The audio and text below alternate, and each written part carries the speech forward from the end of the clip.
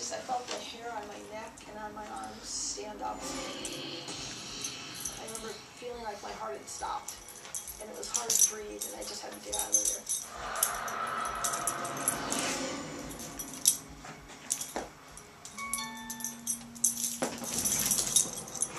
I remember her coming back to the house and she was scared to death. I mean that really that really scared me. I haven't had that kind of experience myself, but I know that for a long while afterwards, she was looking alone. And Donna was, she was open and eyeing up, and I think that that probably caused tension.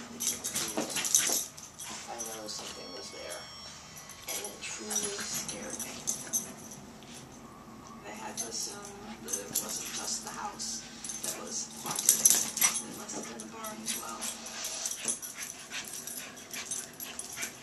It worries me that there could be something here with the harmony of fighting animals.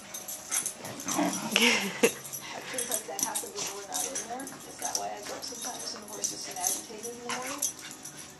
You can't control something that you don't understand. So if that happens when we're there, what happens when we're not there?